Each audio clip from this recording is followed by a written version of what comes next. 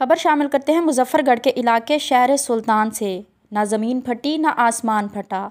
सगे बाप की अपनी सगी कंवारी बेटी से पाँच माह तक ज़्यादती। शहर सुल्तान पुलिस ने मुकदमा दर्ज करते हुए मुलजिम को गिरफ़्तार कर लिया।